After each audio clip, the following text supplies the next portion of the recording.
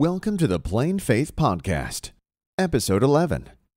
Realistically, I think it's about 900 and some feet where you're actually using it.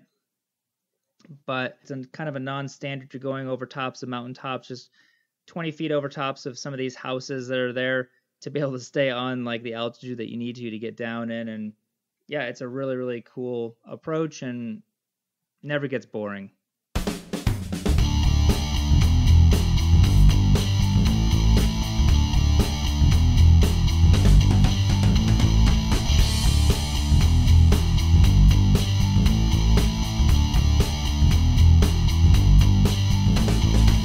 The Plane Faith Podcast is a podcast about missionary aviation and the stories of missionary aviators who have taken seriously Jesus' command to go and make disciples of all nations and are using airplanes to be his witnesses at the ends of the earth.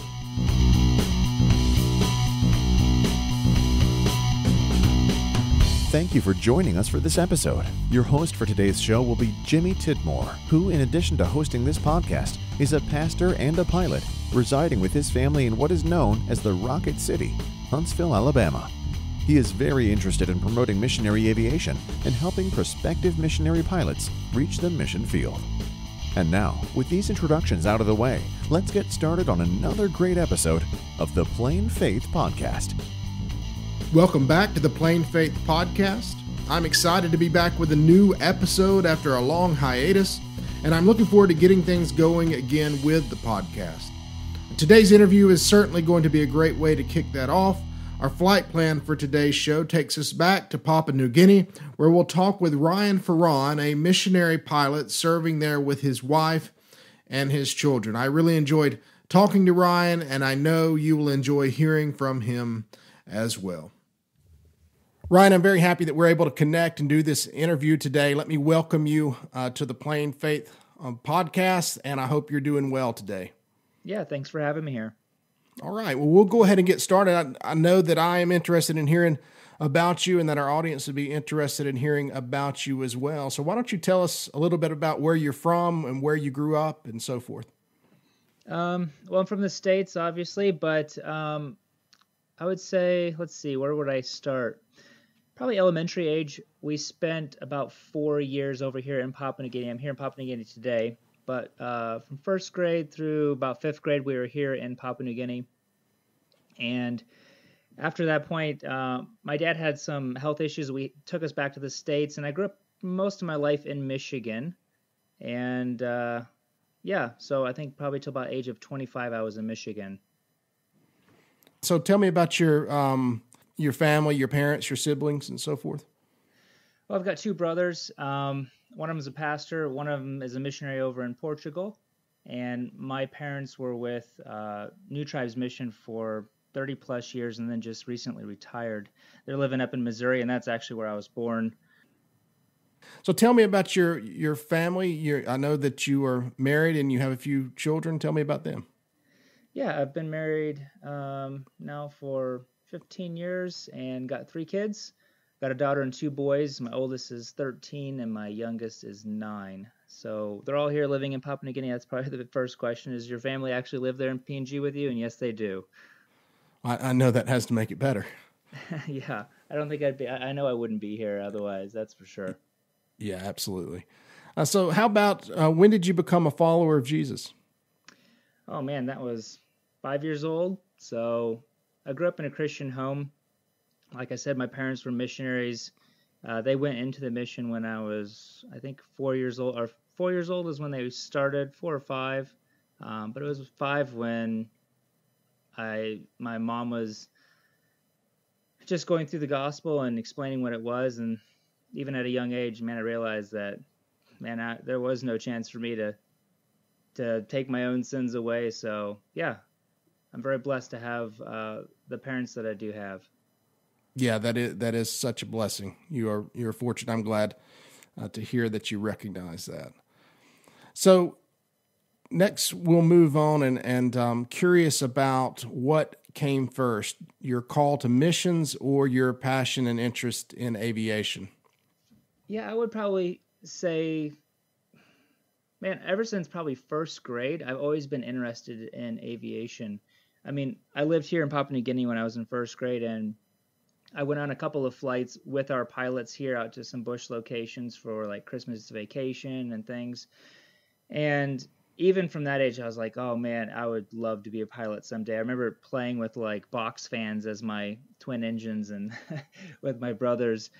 Um, but I don't, as far as being called into missions, uh, my I would say my dad has always kind of really stressed just like, man, everybody's called to be a part of sharing the gospel, whether it's at home or whether it's in missions. So honestly, I never felt like I had the call to come into missions. It was like, it was more of a choice. You know, I'm like, well, man, there's a huge need for missionaries.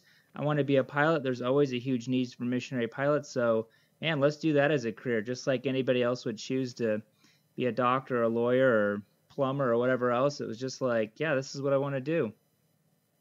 Yeah, man, I, I appreciate uh, the way you explain that and and uh, share that. I think it's important for people to hear that because, yeah, sometimes there's some important big event or some sort of something uh, along the lines of a supernatural uh, intervention in your life, but uh, at other times, you know, the the call is uh, it seems to me that uh, it can be just more along natural lines, the way God's put you together, and the thing that I mean, He's certainly behind the choices that we make and the desires we have, right?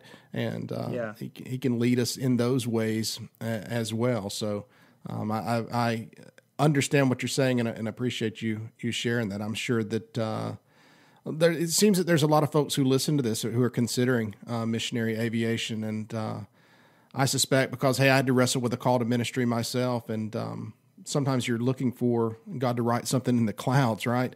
And uh, that's not that's not always the way it happens. He uh, gives us uh, desires uh, to do things and, and helps lead us sometimes through very uh, natural uh, means to to do the things that He would want us to do. so yeah, yeah thanks I for sharing. When, when you do find something that you really really enjoy doing and it fits in with a bigger purpose like sharing the gospel. It man i really enjoy what i do here but i do want to do like i think you just said something just about like man some people struggle with like going into missions and the call. And and i'm no different than anybody else. There's so many days that i'm just like what am i doing this again for? Yeah. And i have to remind myself and many times it's just my wife reminding me this is what we're here. Oh yeah that's that's what we're doing you know? Because there is there is a pull to come back to the states and you know you see things online and stuff you're like man man i wish i could have that life. And you're reminded you know what? This life is super short and in light of eternity we're just a blip. So why not use that blip for uh, for eternity? Amen brother. That's awesome. Uh, so ryan do you have any advice for someone who's wrestling with a call to missions? Any help uh, you can give them as they're working through that in their mind? I guess for myself, because I've struggled with this a lot, you know. Um, just I've I've grown up as a missionary kid my whole life, so I don't know, maybe just myself, but I always felt like I was missing out on life as a missionary kid, and uh, I I think for myself as once I did find something that I really really enjoy doing, and like I said earlier, it was just that it has a purpose, and an eternal purpose. Um, you get so much more fulfillment out of life when you're doing something with purpose. I, I find so many of my friends back in the States that are doing financially well, they're thinking, man, what what is the purpose of life? You know, I've made all this money and it still didn't make me happy and I have this big house and I'm still feeling this empty void. But I guess living over here, it definitely has its downfalls of just not living in your own culture, but at the same time, I do feel like I have a purpose in life, and I feel like a big satisfaction in what I'm doing. Um, so, yeah, I, I guess that's all I'd have to say is just that when you do find something that is has eternal purpose, then it's very, very rewarding and very fulfilling in life. All right. Well, thank you for that. So uh, let's move on now to talk about uh, your flight training. You said you became interested as a probably a first grader in in aviation, but um, how exactly did that uh, come about? I kind of just put it on the back burner of my mind all the way up till probably I would say 11th grade. in high school, and that's when I was like kind of thinking, you know, that's when everybody's asking you, what what are you going to do when you get out of high school? And I was trying to really think, man, what do I actually want to do? And um, so right out of high school, I went to a community college in Jackson, Michigan, where I lived. I was able to get a scholarship that paid for like a two year um, at the community college and then some scholarships for flying and stuff. So I got my private pilot certificate when I was 19 and I flew for I want to say like another like year after that. So like a total about a year and a half and I accumulated about 90 hours. But at that point, honestly, I was kind of bored with flying. It was like going and getting the $100 hamburger or catching a sunset with a friend or and I just I wasn't flying enough to feel like I was progressing. I, you know, every time I'd go out, I'd maybe be forgetting little things or and I think that was at the point where I was like, man, I, if this is what I'm going to do, then I need to go full in. But at this point, I'm not really sure if this is actually what I really want to do because it's actually kind of boring because there was no purpose behind it. I wasn't helping people. I wasn't, you know, doing actually what I really wanted to do in flying missions. So I actually quit flying for, I want to say like five years, I think, mm-hmm. with with no even thinking that I was actually going to go back into aviation. At that point, I was like, all right, I'm done with this. It's too boring. I need to find something else. Um, I have a pretty short attention span, so I need to find something that's always continually changing and something new. Yeah, so my flight training was basic, basically the same as probably everybody else's. I just went to community college and got my private certificate. I think I started in August, and I think in April was about the time I think I finished up my private certificate, something like that. And I also took like a commercial course at the time, did my written for my commercial, but then I didn't pursue it on any further than that. So I think I accumulated in about a year and a half about 90 hours. I think it took me 75 hours to actually get my private certificate, and then I just barely flew after that um, for the next year and a half. So I just really wasn't progressing at all as time went on, which actually kind of made me nervous to go fly because, you know, it might be fly once a month, and that's just for myself that just wasn't enough. So, um, you it sounds like when you started flight training, you knew you knew at that point that you wanted to go into mission aviation. Is that correct? Yeah, for sure. Uh, that's exactly what I wanted to do. But then as time went on, it was just like, man, how is God going to provide the money, like a minimum of probably forty thousand dollars to pay for this? Um, I wasn't going to be getting any money from my parents, and the scholarship had run out, and I was 19 years old, not making a lot of money. All my friends are out doing snowboarding trips, and I'm spending all my money on flying. And so at that, I knew I wanted to go into missions, and really at that point was kind of a turning point for my life. Was do I actually want to go into missions? as just a pilot, or am I still willing to go into missions regardless if I'm flying or not? So that was the point that I went, decided, you know what, I'm just going to go ahead and stop flying and pursue missions and see where that leads me and and to see if that if there's something else in missions that may be a better fit. Yeah, do you think I've heard people say um, that you shouldn't pursue missions aviation unless you first just feel called, will be happy on the mission field as a non pilot. Do you kind of agree with that? It might depend on maybe what organization you go with or maybe how the structure is set up. Like here in Papua New Guinea, it's much, much different than flying in Indonesia or flying in the Philippines, even with the same organization. It's just a completely different setup. So, where we're living here, we live on a big center of probably, I think, 300 other missionaries. And as a pilot, that's my only job as a pilot. I am a mechanic, but that I don't do any working on any planes very rarely, and it's usually just to help the mechanics, you know, with their inspections and stuff. But it's just very minor stuff and I really really enjoy that because I can focus on one thing and then be good at one thing. Whereas in like the Philippines, you know, they're living in just a city with just other Filipino people, and um, you don't have the the people from your own culture to. There is something about. I mean, it's fine living in the regular the culture of the actual country, but to be able to connect on those different levels, there is so many other cultural things that you just don't think of with like different social classes and all these things. And I'm sure it'd be similar to here in Papua New Guinea, but they also in the Philippines, like, you know, they're like the pilot, they're the supply buyer, they're the mechanic, they're the loader, they're, I mean, they do everything. And for myself, I could just see when I was looking at where do I want to go, I could see myself that that's going to burn me out if I do something like that. So finding a good fit for your personality and your gifts and abilities, I think, is crucial when you are thinking missions in general. Yeah, okay. And, and I think the intent behind uh, what people mean when they say that is that uh, you know, first of all, you're you're called to missions, you're a missionary, and then um, you know, secondarily, you're you're a pilot. I, I think that's the intent behind. Yeah, uh, I could see. Yeah, I definitely could see that. Like that that is really the reason why my wife and I are here is because we have a passion for tribal church planning coming first.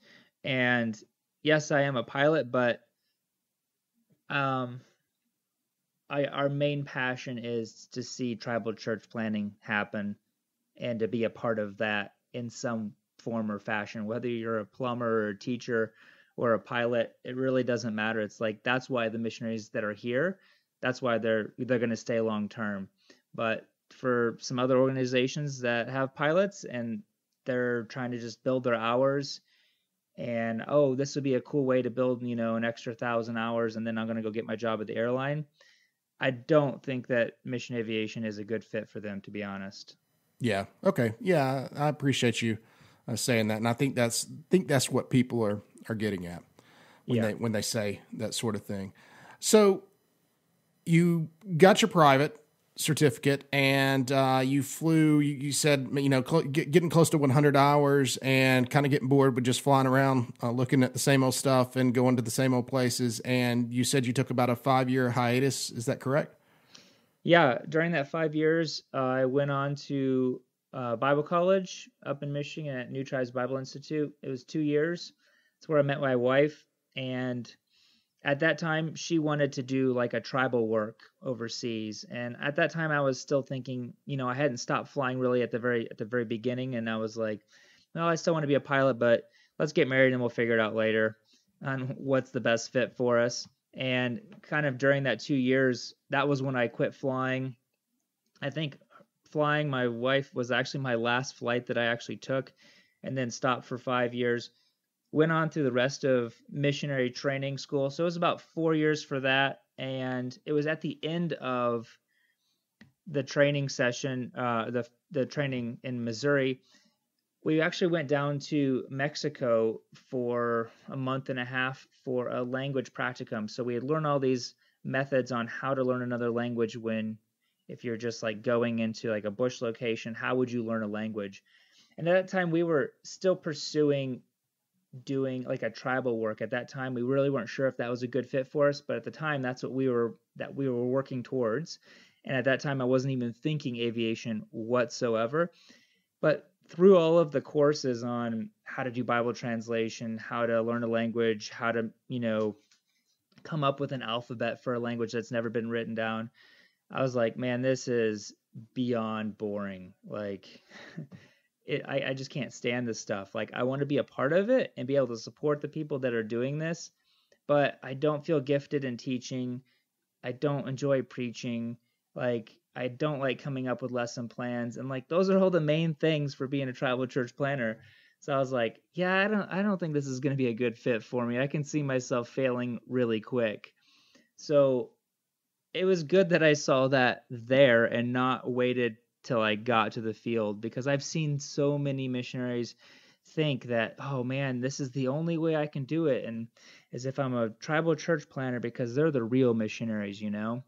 And so um yeah so it's at, at the end of that whole thing we went down to Mexico for 6 weeks and on the way back we were coming back up and we're going to be driving back up to Missouri and we're like hey let's head over to uh, Arizona where the Ethnos 360 like main headquarters is for aviation. We've got some friends there. It's only an extra five hours drive out of the way. Let's just go say hi for a day and then be on our way. And it wasn't even like it was really my wife's friend. It wasn't even like I was going to see my friends.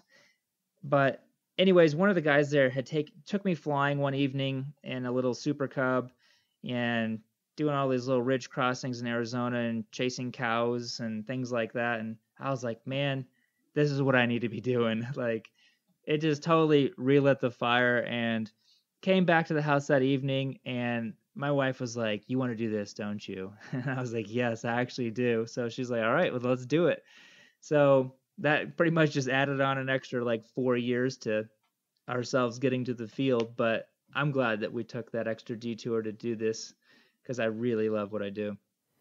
Yeah, so it's interesting. I mean, all that really is part of your your call. I mean, whatever you want to call it, you know, God used you realizing, oh, this isn't what I want to do. It's pretty boring to me, and I'm yeah. not feeling gifted in this area. And uh, then, you know, flip side, just right on, right on the heels of that, you you are exposed to the aviation side again, and, and you realize, yeah, that's what I what I need to do. And again, God, I just believe, uh, based on my own experience, uh, uses uses those desires and, and things within us to to kind of lead us in the direction He wants us to go.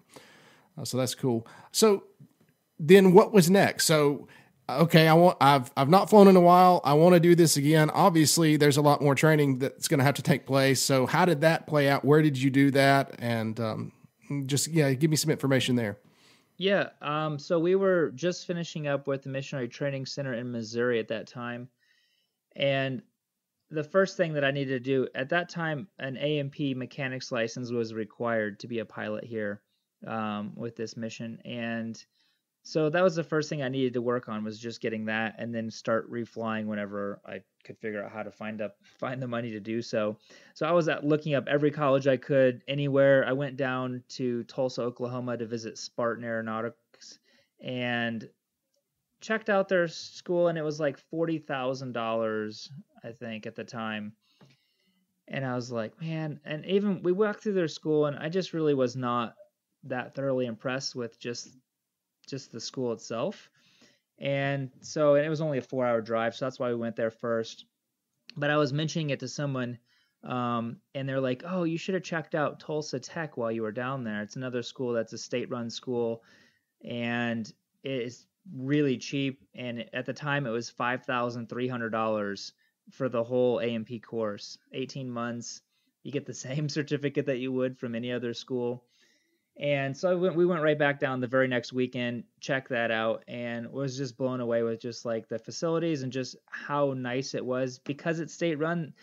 They have a lot more money to work with, and they have a lot more, you know, sponsors and people giving them airplanes to work on and engines that actually work. And so when you're rebuilding an engine, it it actually works, and you have to put it on a dyno. And if it doesn't work, well, then you've failed. And mm-hmm. so, uh, yeah, so we went on down to Tulsa. I think two weeks after we finished up with the Missionary Training Center, we packed up and we moved down to Tulsa, and we had a friend give us 500 bucks to to help us on our move down, and that's pretty much all we had we had enough money for the first month's worth of rent. We didn't have jobs, and I hadn't been actually uh, accepted into the school. So we got down there, and then two weeks later, I was able to actually start with Tulsa Tech. I went in and talked to the counselors, and they were excited to, that I was 26 at the time, and most of the students there were just out of high school with really no no path on what they actually wanted to do with their lives. So the counselors they were really excited that you know, I wanted to go into missions and I had a vision for my life and what it would look like. So they pretty much just threw money at me to get yeah. what I needed to get done. They gave me, um, I had the Pell Grant that paid for everything, and then they had given me extra scholarships that paid for probably it was like a thousand or fifteen hundred dollars worth of tools and stuff. So it was cool to see how Lord just started opening up doors that I yeah. wouldn't be able to open up, but yeah, so that was a, a, year and a half. I did that, and then I started flying at the same time. We had I knew a couple people in the area that had airplanes. We tried going down those avenues, and and those doors just weren't opening. So I was like, man, I thought this is I thought this is the way God was going to work, and it seems that always uh, from my life, it's the way I think God's going to work. It's it's not that way, and it's some other way. Mm-hmm. And uh, that was the case for this as well. So, um, I think we took out a loan for. I think we applied for like eleven thousand dollar loan so I could start flying because that was basically like a two hundred and fifty dollar payment each month. And I was like, okay, this is something that we can barely afford. Let's go ahead and go with this so we can at least start flying. Mm-hmm and because at the time I just had no idea. I was like, you know, I'm not, I'm not going to school also to do flying on top of the Tulsa Tech. I can do this with like some like freelance instructors and just start flying again and start building up just flying on my own and then figure out how I'm going to get my commercial and my instrument and everything else. So, yeah, we did that. So we took like I think like six grand from the bank, and we're like, okay, we'll do this, and then we'll take the other five grand in a few months when we need it. But that was also 2008 when like the big financial crash oh, came. Yeah. So after we used the six grand and went back, even though we had already been pre-approved for the extra five grand, they're like, yeah, we're not mm-hmm. going to give that to you. Mm-hmm. I was like, oh great, now what am I going to do? But you know, we got some money from people that we had never even met. Um, some family members gave us a loan, and then uh, the church that we were going to at the time actually it was a new church and they had money set aside for missions but they didn't have any missionaries and they're like hey we want to we want to support you guys and we want to help you guys get to the field sooner which is just unheard of that churches Absolutely. would support someone to do training but they ended up paying like $8000 of my training they helped me get my um, wow. my instrument rating as well as uh, my multi-engine so that was like a massive blessing and to be honest, like looking back on how little money we made, because it was just my wife was working. Um, she worked at uh, a restaurant serving, and it was a really nice restaurant which paid well with tips. But like that's all we were living on. So it's amazing that we are that God provided the money to pay for. I think it was around thirty thousand dollars or so in about two years worth of flying. So it wasn't any money that I had come up with, and it wasn't savings or anything like that, that's for sure. But we came out of it debt free, which was the best part awesome. of it all. Awesome. Okay, so we didn't really get into to your commercial stuff, which I imagine there's a, a story there as well.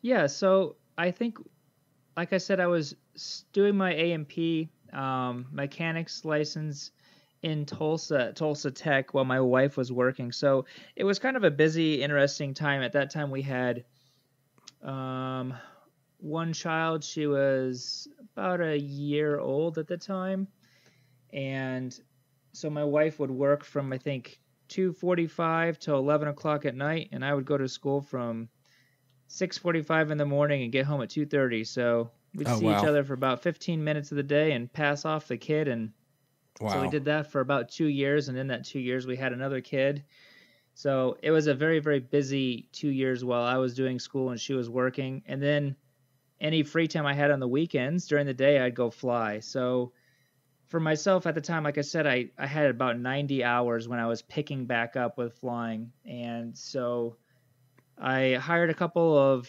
just uh, local instructors, the local FBO, and went and got recurrent. And but I was still I was still pretty nervous about flying solo because it had been so many years since I had looked at anything. So I bought an aviation GPS and I was like, dude, I'm golden now. Yeah. So I would just I'd just go out and do like uh, long cross countries and I'd have my chart with me and I'd have my GPS and I just I would try to follow along with the chart and then kind of just verify, okay, yep, I'm I'm on course. And I just did I I rebought all the books that I had sold and then reread all of them cover to cover just trying to like reteach myself everything that I had forgotten over the past five years. So it was a lot of just trial and error on my own part. I just didn't have the money and I didn't really believe even God that He would provide the money at the time. So I was trying to do everything as cheaply as possible. And even like when I was working on getting my commercial rating, and I bought this book that it, it, described how to do all of the the maneuvers. So rather than actually taking an instructor out and just getting it done quickly and having them do it, I would just go out on my own, read the book, and then I would do the maneuver. And I was like, ah, it didn't work out right. So I'd reread it and then practice it again. And I did that for a lot of hours, and then I was like, all right, I just need to hire an instructor to get this done with and move on from this. At least you weren't taking the book up with you and reading it as you were uh, trying to do it. Oh no, I'd take it with me. I'd Oh, you did read take it. with you.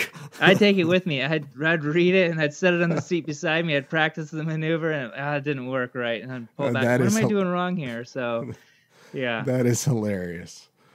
Uh, that's good. Okay, so you um, so you get your instruments, you get your multi-engine, you uh, eventually finish up your commercial with just a, a local FBO flight instructor. Is that kind of right? Yeah, that's correct. So at that time, I had just finished up my 18 months getting my A&P. So I that was what I needed to do. Is the mission organization I wanted to go with? They required at least a, a year working in general aviation as a mechanic, Okay. and I, I thought it was kind of odd. If I'm going in as a pilot, they don't require me to have professional experience as a pilot, but they do as a mechanic. Mm-hmm. And I think a lot of that was just rollover from how it was 20 years ago because it was just different than it is now. We have completely different airplanes, we have a completely different flight schedule. Just how we run things is so different than what it was 20 years ago. But needless to say, I worked as a mechanic um, at a Cessna service center. So Mhm. I worked on flight school planes that had just been haggard over the many years. and Yeah. worked on 152s and 72s and Duchesses and just planes like that that you'd find at a at a school. So and then whenever um, like kind of our place that I work was the hub. So we had a lot of um, flight planes at other schools all around the country, and they would come back to us when they'd come out of lease, and we would rebuild the engines. And then when we get a new engine, it would need to have a test flight. So I was able to get some test flying done for free there, which was pretty awesome, and just basically take the new engine, fly it over top of the field for about an hour or so, and or if any planes came back from flight schools, they'd have me take it out and then just write a big squawk list of anything that wasn't working on it. So it was an opportunity. I think I probably got maybe 50 hours over the course of two years doing that. Um, and as I was still just flying as as much as I could afford at the time. And I think after two, I think after two years of working as a mechanic, um, I was at the time working on getting my CFI, and I let's see, I'm trying to think how long that took. I hired an instructor. I learned my lesson on that one. I just hired the best instructor that I possibly could. I think he was close to 70 years old, and man, like I still wish I could fly as smoothly as perfectly as he could. Every maneuver, he would just he would nail it. It didn't matter what the wind condition was, he would just nail it. But um, yeah, I got my CFI um, after the second try. The first one, I I focused all my attention on like the flying and Yeah. like the teaching of the lessons, and I I didn't even go over any of like how to be the instructor, which is the very first part of your CFI check ride. Is like how do you teach? I didn't even bother with that, and they're like, "Yeah, you're not ready." I was like, "Oh Yeah. man." so my second one, which was about I think six months later, um, I had everything like books memorized when I went in there and was able to pass it. So I got an instructing job at a school um, that was right, actually, right next to where I worked. They actually um, leased our airplanes that we worked on. Mhm. So it was really cool how God worked it out because I was working 40 hours as a mechanic, and I was like, I just, I don't have the time to go add another four to five hours of instructing in a day. And that's what the school would want from me. So I asked my boss um, that I worked as a mechanic. I said, "Look, this is." He was a believer, and I said, "This is what I want to do." He already knew I was going into missions. I was like, "I really feel this is the next step. I need to start instructing. Can I split my time where I go instruct from maybe like six o'clock in the morning till nine o'clock, or seven till nine, and then work from nine till five instead of like an eight to four or, some, or seven to four. And he was like, "Yeah, you know, I think you get as much done in a day, or in four hours as most of these guys here do in a day. So yeah, why don't you do that? That's fine with me, and you can keep your full insurance plan, even though you won't be making the requirements and stuff. So that was a huge blessing to be able to have him allow me to basically go get a second job, still cut my hours, and still be able to keep my full insurance benefits. Yeah. So- you got your CFI. I'm assuming because you needed to build hours. Is that correct? Um, really, the reason I got my CFI is because I had a friend of mine at the A&P school who was an instructor, and he was saying, you know, if for no other reason, I recommend you getting your CFI and just instructing at least 100 hours because you'll learn so much Mm-hmm. in that first 100 hours. And he's like, after the 100 hours, you can do what you want, but at least do that. And so that was really a lot of my motivation to getting it. And it was kind of like one of those uh, far off goals that I never thought that I could ever achieve. You know, you see Yeah. certain people that are like, oh, if I could only be that, or if I could only be a CFI. I think it was one of those kind of unattainable goals that I really wanted to work towards. And once I did it, to be honest, I really did not enjoy instructing. I worked at a 141 school that had exclusively foreign students from like China, um, uh, Egypt, and Sri Lanka, and Mm-hmm. and so it was a lot of rich kids that really just didn't have the motivation that I had personally to get my all my flying done. You know, they're like they wanted to be spoon fed and and just there was a language barrier and just a cultural barrier and I I just didn't enjoy doing primary students. So I did that for like I think like 200 hours, but it was over like I think 8 months is how long I did it for. Mm-hmm. And so the first 6 months it was just primary students and then after that I just I just couldn't keep up with working 12 to 13 hour days and getting paid the exact same as if I was getting just working my mechanics only. That's how it worked out. As I was basically working 12 hour days, but I was getting paid exactly the same if I would just only work an 8 hour day. So Right. I was like, man, why am I doing this? I don't enjoy it at all. And um, I went and did my technical evaluation at that time uh, with the organization I'm with, and and I'm glad that I instructed before that because I think it really, really freshened up my skills on pilotage, dead reckoning, using charts, and that was something that they had just hit on a lot. And um, they were just really impressed with just like, man, I have never had someone follow along the chart as well as you are on these, you know, um, uh, cross countries, and uh, that was a huge like, oh man, I'm so glad that I actually did that. But after that, after they accepted me, at that point, I was like, you know, I'm just not enjoying instructing, at least this type of instructing. I think I would enjoy instructing maybe on the commercial level because I'm just honing in their skills rather than like, you know, teaching someone how to walk. Mm-hmm. So, yeah. So you you instructed for about 200 hours, and uh, and and then you kind of hung it up. Yeah, um, I still keep my CFI current. Every two years, you have to do like a course Right. to keep it current, and I Uh-huh. just do that just because it only takes a few hours, and I don't. If you if it runs out, then it's just so much more work to get it Right. back in. So I mean, you basically have to take the, the check ride again. Correct? yeah, yeah, basically with like I think a DME, I think is what they call it. But yeah. Right. yeah, I was like, yeah, I don't ever ever want to do that again. Yeah. So I'm gonna take the little online course that just takes a couple of hours and pay my 50 bucks and do that for the rest of my life. Yeah. I, I you know I've heard so many people say how much they regretted letting that expire. Um, Yeah.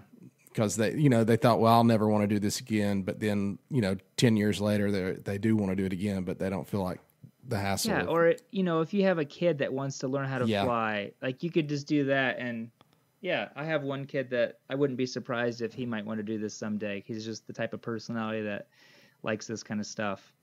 yeah so when you when you got done with the 200 hours of instructing I imagine you're getting close to 500 hours at that point which is Yes. which is kind of a magic number correct Yeah, I had I think 450 hours or something when I went and did my technical evaluation, which is um, and you do this with any organization with missions, um, either with like MAF or JAARS or uh, Ethnos 360 or any other ones. Is you basically go and it was a week long evaluation. They were testing just my skills as a mechanic and um, as a pilot, and there's even my own personal self. Like how, how what's my personality like? Mm-hmm. How do I work well with people?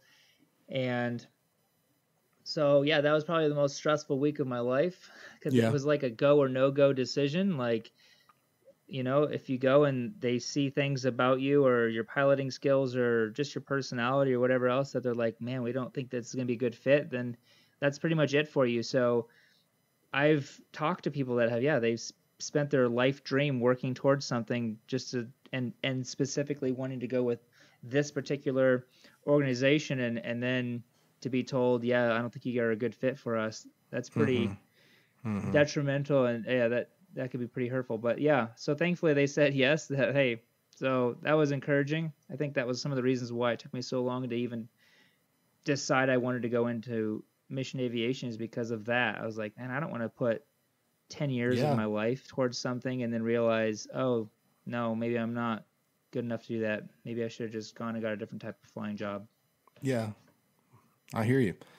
So um, after the technical evaluation, what what was next from there? Did you still need to build more time, and, and how did it progress uh, from there, getting to the getting to the mission field? So I did the technical evaluation, I think in February or January of I don't even remember what year, and then it was in August of that same year as that I went to do their training, their nine months training, and so during that time, they said, "Hey, here's a couple of things that we'd like you to work on. Your rudder control isn't that great. We want you to go back. Here's some little things that you could be do to help with that." And other than that, they said basically, "Hey, you can raise up a little bit of support um, to help pay for your your nine months living here." And that was really hard to do, to be honest. Um, it's hard to get people to back you when you're like, no, no, I'm I'm a missionary now, but I'm still doing the training. And so it's like mm-hmm. this awkward stage of, yeah, I'm in the mission now, but I'm not on the field, but you're still doing training. So why do I have to pay for your mission if you're not actually mm-hmm. overseas yet? So that was a very tight financial time. Um, we had to go on like state funding and stuff to help pay for things, which we're beyond grateful for that that's even available because mm-hmm. that helped us get us through that training session. So we were there in Arizona for nine months. The first few months, um, we did some um, like projects and stuff. They put me on a project where it was a 206 and um, I'm trying to think of what it was called. M, M MPV or something like that 50. It was basically like this whole um, control unit that took all of your steam gauges and put it into this nice cool little digital display and connected everything the gps the fuel burn everything in it. And it was a super fun project. And then we did about 40 hours of flight training uh, into just some like i guess they'd be like arizona bush locations. They were just little tiny dirt runways in the mountains. One of them was like a personally owned one that uh, i think it was about 900 feet long. And couple other ones that were I think uh, I think they were right around 1300 feet and they were just wide enough for the 206 to land and have about three feet off of each of wheel. I mean, it was like you're landing on like a single track dirt road. Mm-hmm. They were super fun. I had so much fun doing that. So after that, we just spent another five months there. Um, I was working on a helicopter, getting it repainted and ready to go over to the Philippines. So that was that was what my training was like before I got to the field. Okay, so after your training, you said you spent about five months, and then then were you on the field? No, what we did is it was nine months. So for the first okay. four months, it was basically mechanic, not training, but just hey, let's see what your skills are and let's work with you. Mm-hmm. And really, it was kind of even a little bit of a vetting process of just saying like, they're getting a few months to work with you before they're like giving you the final final stamp of okay you know? You've gotten the yeah. stamp from finishing up the missionary training okay but you're not a missionary. Then you do your technical evaluation okay yep you're good to go but you're not a missionary. And then it's mm-hmm. like another nine months and then it's like okay now this is the final final stamp. Well but not really. So yeah so uh, we would like to see that change in the future because that that's very draining on new yeah. pilots that are coming through of not knowing like have I made it yet? Like, when do I get the stamp of approval? So, yeah, we were there for nine months total. And then we came back to Tulsa, Oklahoma, which is where we had spent four years building relationships with our church. And that's when we started raising up our support more hardcore so that we could actually get to the field. And it still took a year and I think five months Mm-hmm. to get to the point where, okay, we're allowed to go now. So, All right. and even at that time, we weren't even fully funded. But I was like, you know what? God's provided in the past. We're at a safe amount until we can go and not have financial issues. Let's go ahead and go because I believe that God can raise up our support even more from here on out. So before we get to talking about the place where you're serving, uh, is there anything that you might want to share uh, with uh, someone who is in flight training to become a missionary pilot, maybe, or maybe at some other point in this uh, long uh, process that you've just described? Anything you would like to share with those those types of folks? maybe I wouldn't have wanted to hear this, but at the same time, it is with the truth. But I was like I said earlier, the average time for most pilots, I think, is 12 years from the time that they start their flight training to the time they actually get to the field, because there's so many things that you have to build along the way and experience. It's not like, you know, hey, I've got my degree in such and such, and now I'm ready to go. There's a lot to learn, and it took me a lot longer just because I didn't know that this is actually what I wanted to do. I think if I would have just been really, really focused, you can definitely, definitely get it done in half that time for sure. I mean, we have one pilot here that I think he came when he was 20. He was 24 years old. He was like the Oh, wow. youngest pilot we've ever had.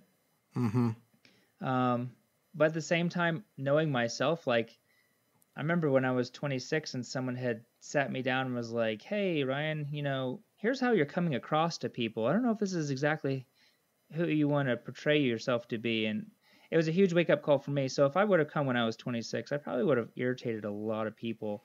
and I came when I was like, I don't even remember, like 32 or 33 years old. I think 33 years old Mm-hmm. and I'm glad that I had that extra time to actually grow up because living it's not just like you're a missionary pilot and it's all fun and games like there's a lot of other things just living on a base with other missionaries it's it's very difficult it's like living with people you go to church with and then you also see them at the store and they're your next door neighbors and you commute to work with them and it's like I think that's so coming in a little bit older and learning how to just working on your personal skills I think is like just as important as working on your piloting skills. All right, that's a great, great answer. So, do tell us now about uh, where you're serving, what it's like, uh, how it's different from your home, and, and what you've been, uh, and what have been, you know, some of the things that you found difficult to adjust to. Yeah, so we're here in Papua New Guinea, and I live in the highlands of Papua New Guinea. So it's pretty much just kind of it's near Goroka, just pretty much in the middle of it. We live at four thousand feet, and Goroka's right around five thousand. So we're surrounded by mountains, um, anywhere from maybe seven to eight thousand, all the way up to maybe around eleven thousand, just in our vicinity, just outside my window. And we're close to the equator, so the temperature is pretty much the same every single day of the year. It's about 64 degrees in the morning and about 80 to maybe 85 at the hottest during the afternoon every single day. Mm-hmm. So we have a dry season and a wet season. So half the year it's rainy all the time, really kind of starting, uh, I don't know, probably like 2.30, 3 o'clock in the afternoon. Just about every single day of that six months it rains. And then the dry season, um, obviously it's dry and, and then maybe it instead of raining like five or six days a week in the afternoon, it might rain like maybe two or three days of the week in the afternoon, maybe starting at like four. But it's very consistent and the same. It's super beautiful and green here. But um, I would say the thing I find the most difficult to adjust to, and and taking from someone who's grown up in missions literally my whole life, from the age of Mhm. like four or five, is living with other missionaries. Like by far, hands down, that is the hardest thing to do is living on a base. Mm. Um, especially if you're, you know, a, a, a closed off person. Like I'm not really one that's like I'm not a huge extrovert. hmm I'm kind of in the middle, you know. But yeah. just having to work with the same people that you live next to, or you go to the same church and you go to the same store and you're living on a 35 acre fenced in area, it can be very, very wearing. And I don't think that that's something that a lot of people that are wanting to go into missions necessarily think about. Now, not every organization has this kind of base setup. Some of them might just live in a town or something, but even that presents its own challenges just living in another culture. Um, like, um, it's hard to explain the culture here, but I think people would be um, more versed in like let's let's say if you were to go down to, you know, Mexico and live down there, like let people know that it's just a little, a little, more laid back. You know, they take the afternoons and have a siesta, and um, things maybe not run quite as efficiently as you would had hoped them to in the in the states. And it's the same here. You know, the, I think the biggest thing is coming from America. Everything is let's how can we make this more efficient? How can we make this the best possible such and such? How can we help our customers get out the door happy and quickly? Where that's a completely foreign concept here. Like they are not here to serve you. You are there to buy their product and that is it. So just mm living in a culture like that, you know, you go to Walmart and you, you walk in and you know exactly what aisle it is because everything is exactly the same and you know they're going to have it. Here, I've spent not exaggerating, six hours one day just trying to find like um, little hooks that I can make like a coat, like a hat rack, and I didn't find what I was looking for. I went to every store in town, and nobody knew what I was talking about. So, letting those little tiny frustrations wear on you, um, you'll be off the field in no time at all. If if if you're that type yeah. of person that it, those little things really bother you, then that's something that you need to figure out before you come to the field because yeah, for sure those things will just eat you alive. All right. So, why don't you tell me a little bit more about uh, the organization that you're serving with? All right. Um, I work with Ethnos 360 and specifically the aviation division, obviously, but um, they are a little bit separate. But basically, the aviation is here to support tribal church planting. With Ethnos 360, their main focus is church planting in remote areas that have never had the gospel presented to them before, mm-hmm. reaching the unreached people groups. So that's why aviation is needed. We have, I'm trying to think of how many, I think we fly to maybe like 35 locations here in PNG where we have people or have had people at one time. And so basically, they go in and they start learning a language that's never been learned before and never been written down before. So that could take anywhere from two years to eight years, sometimes more, but usually at least two to eight years. And they come up with an alphabet for them so they can start translating the Bible in their language. And then once they start teaching them, they go through the Bible chronologically, starting in Genesis and working all the way through Christ so that they're building on a good foundation. So it's not just like jumping in and showing them a Jesus film and just basically they're very animistic here in Papua New Guinea and many of the places we work around the world. And animistic basically is um, if you ever seen the movie Avatar, that pretty much sums up animism in in a nutshell. It's like, you know, everything has a spirit, the the trees, all everything works together in nature. There's um everything is spirit run. The spirits tells them what they can plant in their gardens, where they can go, when they can go out, these kind of things. So um, if we just come in and share the gospel starting with Christ using a translator or something, which is what they've done many years ago, they started realizing something something isn't clicking here. They're not getting the, the gospel. Like all they're doing is adding Jesus to the list of all their other gods and they're like, oh, if it's working for the white man, then it will work for us. And if he's rich, then we'll get rich someday. Mm. So they really need to start from ground zero and build the foundation of, hey, this is this is God. This is who He is. Like this is how the world was created. You know, hey, you're a sinner. Here's your you know position. Here, here here's your um the state that you're in, and, and there's nothing you can do. So they build that until they get to Christ, and then they're like, and now here's the Savior. So it's it's they understand it as a big, basically like uh, just a huge long storyline. So it is cool how they do that. So, anyways, that's what we do as aviation is we support those missionaries so that they can live out in those tribes full time. So they typically are out there for at least three to six months at a time. So we fly them their food, we fly them, um, like if their kids come out to the boarding school out here, we fly them out. Um, if they do any projects, they do a lot of humanitarian stuff there as well, like making aid posts and teach, like making schools. So we fly in a lot of building supplies for them. And I would say probably 95% of our work, at least, uh, maybe even more than that, is just to support our own missionaries. And then we'll do maybe 5% or less of commercial work where we'll just do like a charter for someone, uh, for some local people, or fly their coffee out, mm-hmm. or different flights like that. But most of our flying is centered around missions.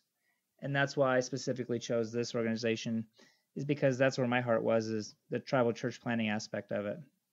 Yeah, that that was my actually my very next question. I mean, obviously there there are good many good uh, organizations that you could do this type of flying with, but I, I, was definitely curious to hear what was it for you about Ethnos 360. Um, and so you say it was it was just the emphasis on the tribal church planting that kind of made it uh, drew you uh, to that that particular organization. Yeah, and also even more so than just that of just tribal church planting, it was just their methodology and how they present the gospel to people. Mm-hmm. Um, I've just seen and heard so many stories, you know, of like, yeah, we were driving through the streets, just throwing tracts out on the road, and and we had like four thousand people get saved that day, and you're like, mm-hmm. how do you know they were saved? Like, do you like just because they read something? How do you know they're not just like taking what they read in this tract and adding it to their Buddha beliefs, and because all these there's a lot of you know beliefs around the world and a lot of animistic stuff is that they believe that there's lots of gods.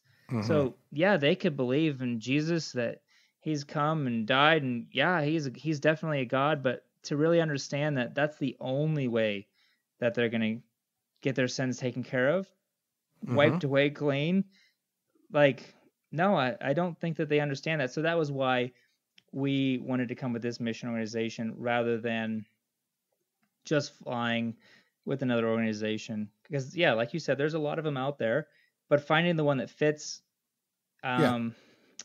with what you want to do is very important yeah okay um, so those are the reasons you settled on ethnos 360 how how did you end up in Papua New Guinea? What was that process like? How did you narrow down? Did you did you have a say in the matter? How does it work with them? Yeah, so they had a couple of different fields. They used to, I think, fly in I think maybe eight different countries, but now I think we're just down to three: the Philippines, Indonesia, and Papua New Guinea. And I was coming in as a fixed wing pilot only. I'm not a helicopter pilot yet, so um, my option were Indonesia and Papua New Guinea. And I spent some time here as a kid. So they kind of said, Hey, we'd like you to go to New Guinea.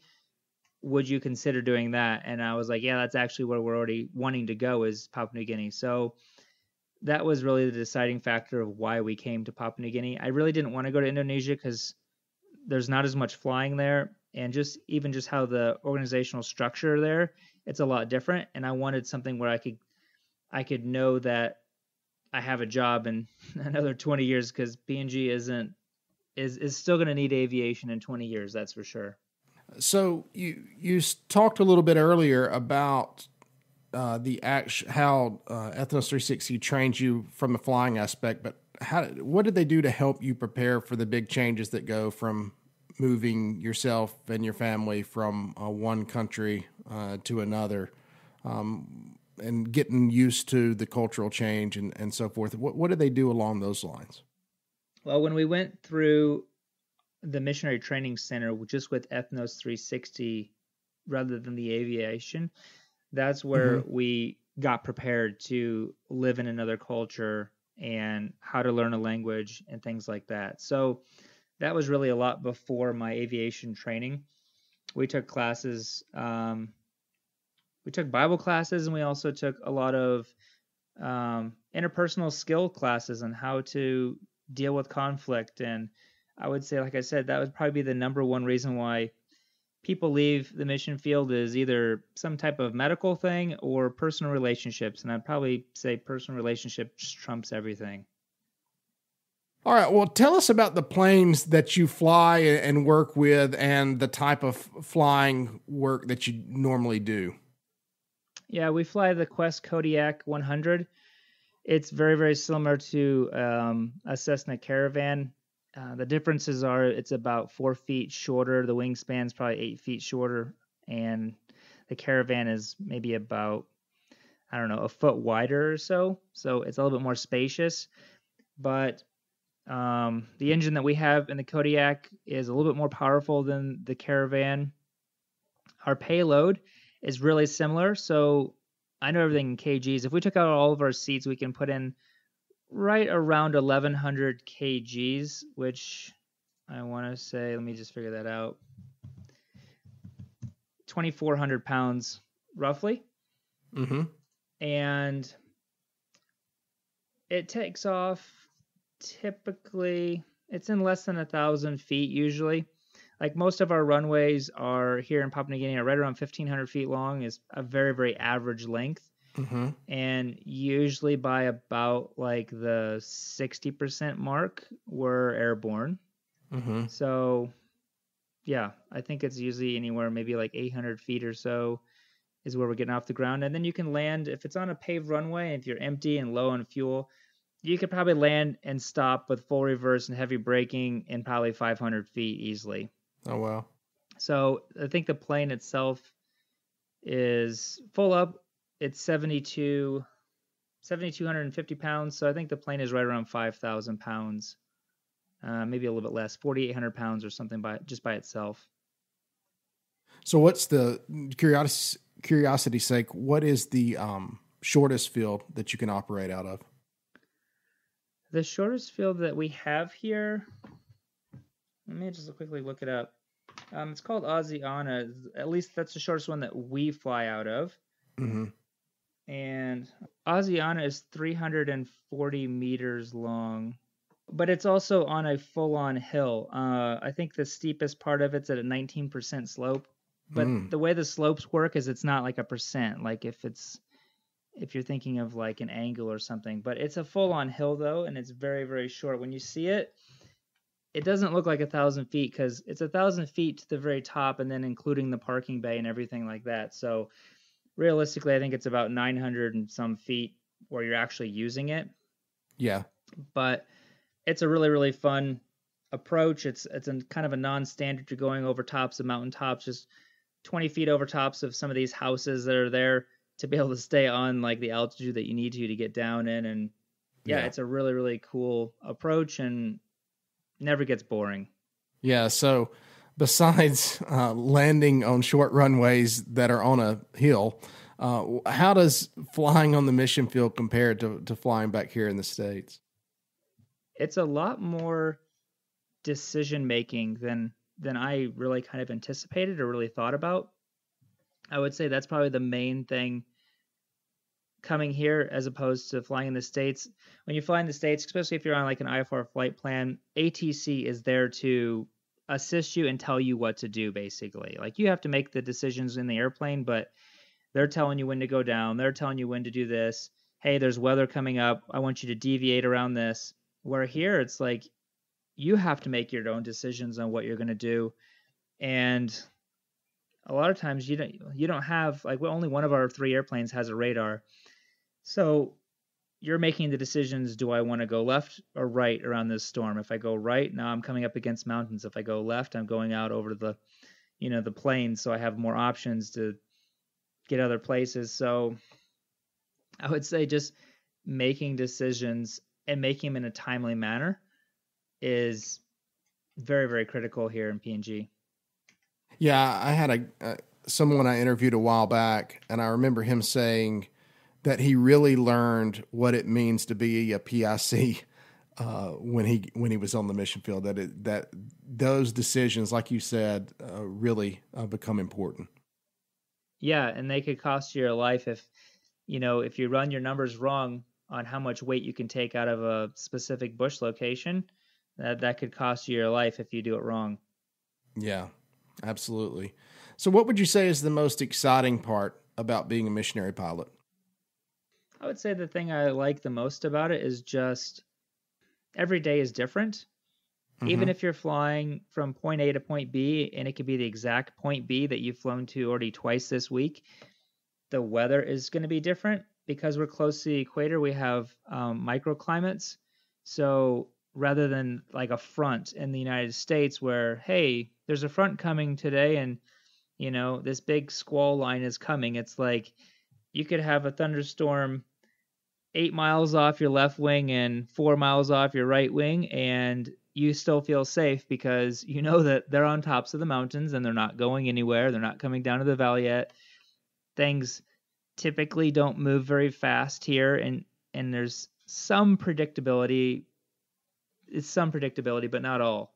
So I would say that's what I probably enjoy the most about it is just the fact that every single day is different. So, what about the most difficult part about being a missionary pilot? I'd probably say the first year of flying here by myself was the most difficult. And just learning the routes and for it to become comfortable for you again because it's not necessarily that point it's not like your flying skills it's more your decision making and knowing all the options you have let's say if it's bad weather one day what are my options to get into this valley safely um, and the first year, you're still kind of learning those. And you're also kind of, for myself, it was learning what my own comfort levels are. Like I had my instrument rating in the States, but I really didn't get any experience there. Mm-hmm. So coming here was the very first real experience. You know, I'm now thrown into not only sometimes heavy, bad IMC with heavy, heavy rain, determining if you want to go through stuff there's lightning up here. What am I going to do? Those were the decisions that I think I struggled with the most is learning where my comfort levels are and is it worth going through this storm or should I add 10 minutes, go this other route or should I just turn back and spend the night and come back tomorrow morning? I think that was the hardest thing for me for the first year to year and a half. And then once I've really kind of established my standards, my stress levels went down immensely mm-hmm. and I started enjoying my job a hundred times more. Yeah, so you saying you you sort of developed your own. I mean, obviously your organization has some standard operating procedures and so forth, but you sort of developed your own personal standards where you're you're not making a uh, a decision on the fly. It either meets this criteria, it doesn't. You're staying or you're going. Right? Is that what you're saying? Yeah, I mean, we obviously have standards, but there it's like it's like flying IMC because we don't have a lot of great weather forecasting and stuff. You don't know how bad something is until you're really kind of in it sometimes. And so really establishing what do I what are my own personal standards? What do I feel comfortable just because I'm allowed to legally fly through this? Mm-hmm. Do I want to? And I think that's really what it was for myself determining is what do I feel comfortable flying through and what do I not feel comfortable flying through, whether I can do it legally or not. What do I feel safe doing and do I want to do it with passengers? Is one thing if I'm by myself or if I have passengers, I want to I want to get to my destination and I want them to really have enjoyed the flight, not get off the flight and go, I thought we were going to die today. All right, that's so. good. So, um, do you have a a, a favorite memory or a story uh, from your time there that, that you'd like to share with the audience? One of the memories that I had was it wasn't even with our organization. It was with a, I think Pioneer Bible translators and stuff. But it was cool to be able to be a part of their. They had just finished the New Testament, I think, and they had like a Bible dedication for the new the New Testament, and to be able to be a part of that and to fly out everybody that was involved in it and stuff, and just to see the people there on the ground and their excitement for it and stuff. that was really really cool and encouraging because sometimes you, you can if you're just flying and just doing your daily job sometimes you can easily forget what am i doing this for because you're not hearing the stories always and i would say even as a pilot we do hear the stories more than anybody else because we're in direct contact with the, the tribal missionaries but to be a part of those kind of things it's always really cool and as a reminder just go like oh yeah that's that's why we're doing this because yeah like any job i mean you can easily lose the focus on what you're doing or you can just you know, see other people's Instagram feeds and be like, oh man, it looks like they're having so much more fun than I'm having, you know, mm-hmm. back in the United States, back in home, back in like comfort land, I guess. Mm-hmm. So, yeah, I think that was really cool and as just a good kind of boost to be like, oh no, this is this is why we're doing this, and I'm glad that I'm a part of it. All right, that's that's cool. Yeah, if I'm correct, some of those translations they take decades, right? Multiple decades sometimes to to yeah, complete. They, they do. They take a really long time, and then after a lot of times they finish a translation, then they go back and do a revision because since they've d- written it, they're like, man, I've learned so much, and mm-hmm. now I mm-hmm. can make this even even more clear and better to understand now yeah. that I'm more well versed in this language. Okay. Well, what are some of the biggest struggles that you've dealt with personally since being on the mission field? I think probably one of the biggest struggles is just learning how to live in a close knit community. Like I've said that a couple times already, but just living in a close knit community with people, it's kind of like similar to maybe living with your family. You know, you become very comfortable with your family, and you might say certain things or treat your family in a way that you'd never treat your friend. And it's mm-hmm. similar to that living on a base with people that you do become very close with. Sometimes you might say or do things that you wouldn't normally do because you you feel like you have the right to do so because you're that closely knit with the community. So I think navigating that and learning that I would say would probably be the biggest struggle we've had as a family. What about have you had any spiritual struggles since you've been there? Um I would say probably with spiritual struggles would be I miss having a a church that we really enjoy going to. Um like we do have like a church um service here, but I miss having the teaching from my own, you know, personal pastor that we really enjoy or things like that that we just don't have here. And so we do a lot of podcasts with our kids and family just of our own pastors at home. So we're thankful that we have those kind of yeah. things, technology available to us. But I would say that would probably be the biggest thing that I miss about back in the States. And just like anywhere, it's it's easy to get caught up in your job and even just put God on the back burner, like spending personal time with Him and wanting to grow in your own relationship with God. It, like it's no different if you're a missionary. Like you're not some spiritual God. Like you're just mm-hmm. some Joe Schmo who's chosen this career path. I think that's where people get wrong a lot of times with missionaries is even the people that live out in the tribes. Man, I talk to, I fly everybody, and and the conversations we have on the way back, it's like I have them with their, they're saying like, what am I doing out here? Like I don't even want to be here. Like I know that this is what God wants me to do and and I see the purpose behind it. But even those guys, man, they struggle with sometimes being a missionary. So to think that oh, I could never be a missionary, uh, yeah, no, the missionaries are no more special than anybody else. Yeah, it sounds like when pastors get together. I don't want to do this. Why am I doing this? no yeah, question. Totally. Um, so, how have your family and friends been helpful to you along the way, and even now that you're there? Uh, we, we're thankful that we have a very supportive family. Both my side and my wife's side of the family are very supportive. They're both all believers, so that is really really nice to have. I think it would be the added stress of having unbelieving parents and them not seeing your passion or also agreeing with your choices in life. Mm-hmm. I think mm-hmm. that would be really hard, but we're super thankful that we do have a family and even a lot of our friends that have a lot of my friends grew up here as missionary kids. So yeah, I think that's that's just encouraging to have. You don't have to explain yourself all the time. Yeah, for sure. Do you have any final suggestions or advice or encouragement for prospective missionary pilots? I would say I wish I had the advice is that if this is what God wants you to do, then He does provide the money. Mm. And it's hard because for myself, I've always struggled with is this what God wants me to do with my life? And it really wasn't until I took that step that I started realizing, yes, this is. And for myself, money has always been a big struggle with like, how is God going to provide this, or how how is this ever going to happen? Because those are such huge numbers, and I don't have that kind of money, and I don't know the right people that have that kind of money. Mm-hmm. And I always think back of that Old Testament story where um, the priests were carrying the um,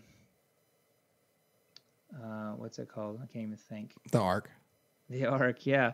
And they had to step into the river before the river actually parted. And I feel like that has been the story of every single thing that we've done is mm-hmm. we had to make the very first step before we actually started seeing God work.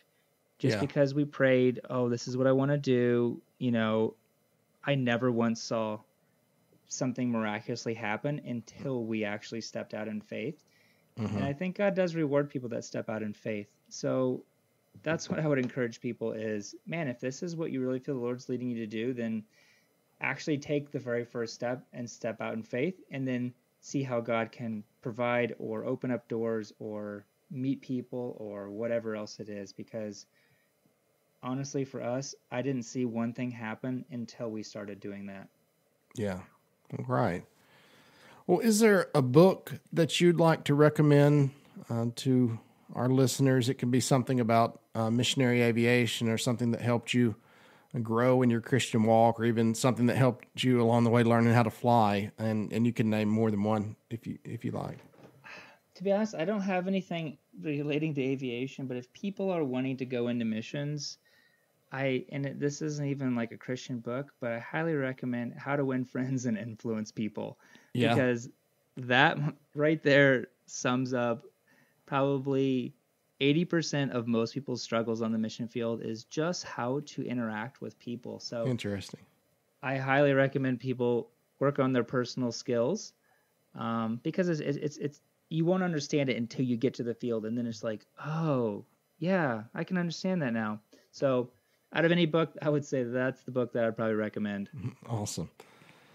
So, how can our audience be praying for you and your family? On a really personal level, is just to be praying, just as we're raising our kids. We want we want our kids to really turn out well and to be great adults that love the Lord and have a passion for missions, whether they're in missions or not. Doesn't really matter to me, but just have a passion for the Lord.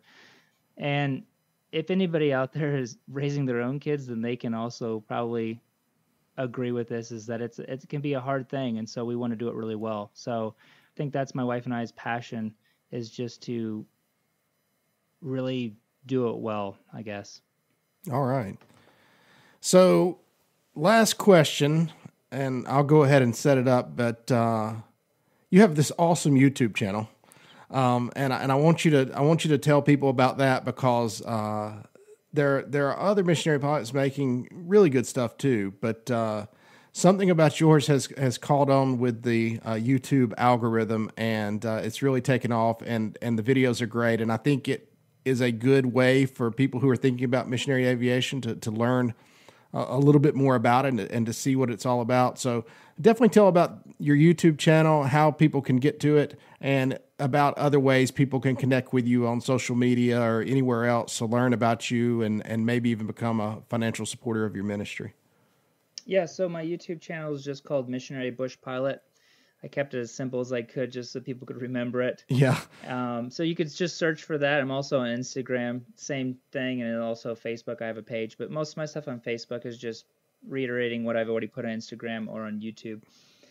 But um, yeah, I've had a passion for making videos for a lot of years. I used to do wedding photography and stuff, and I got a little bit bored with just kind of the mundaneness and the exact same thing every time, and I like creating new things. So, um, I've been making videos, like I said, I think for like six years, but I've always wanted to do this. I wish I would have had some kind of content like this when I was first in my training to see what it was like because I had no idea yeah. what to expect, what kind of decisions they're going to be making. So I wanted to make videos, but I also wanted to be able to do it in a way that I could, it could be easily manageable. Um, I like making motorcycle videos, but it takes so much time. And with flying videos, it's like, well, I'm already doing this, so mm-hmm. Mm-hmm. it's not taking any more time out of my day to actually film it. It takes a little bit of time to edit it, but I really enjoy editing videos. So yeah, my whole thing through this is really is to kind of I started it to get back in the mode of instructing. I'd like to do instructing here eventually. So just kind of talking through my thought process, and I think it'd be really interesting to see a different aspect of aviation that I don't think a lot of people have ever seen or even thought about. There's a lot of people out there that are interested in aviation, but have never seen a what a bush pilot does on a daily basis, or what kind of places we go to, or what kind of weather we have to deal with. So I think that would be interesting. So that's why I started making them. Yeah, well, they they're outstanding, and and I do imagine that uh, there are uh, kingdom uses for uh, your your channel. It does it does expose people to, to what it's all about. Um, and if somebody's considering it, uh, it, it, that may be what they need to to to kind of push them uh, to take that that first step as you as you've talked about.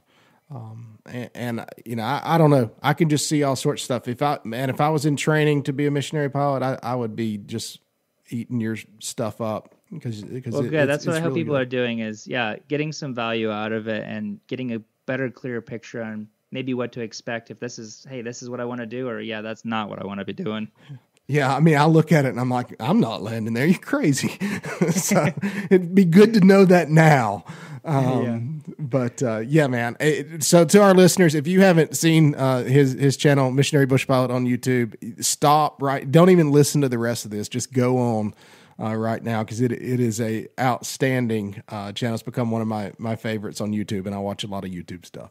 Well, great. Uh, so, well, all right, Ryan. I really really appreciate it. Um, and I hope that uh, we can stay in in touch uh, with each other uh, as as things go on for you and things go on uh, for me. And if there's ever anything that I uh, can do for you uh, to repay the favor of you coming on on the show, I would love to do it. Um, and again, I really do hope we could stay in touch. Yeah, well, thank you so much for having me on. I really do appreciate it, and uh, I've enjoyed our chat. All right, man. God bless. Uh, God bless your family as well, and and I, I want you to take care. Yeah, thank you so much.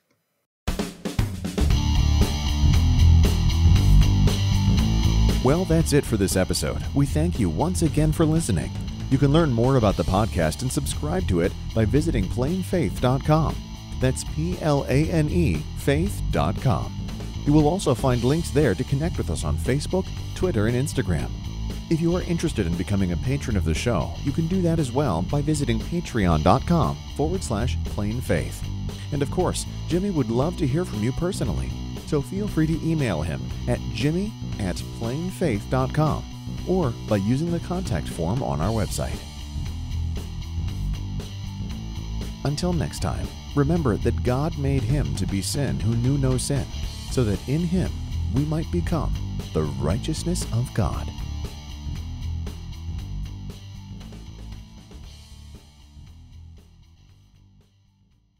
The intro and outro music for the Plane Faith podcast is a song called Chipper by Kevin MacLeod. You can find his work at incompetech.com.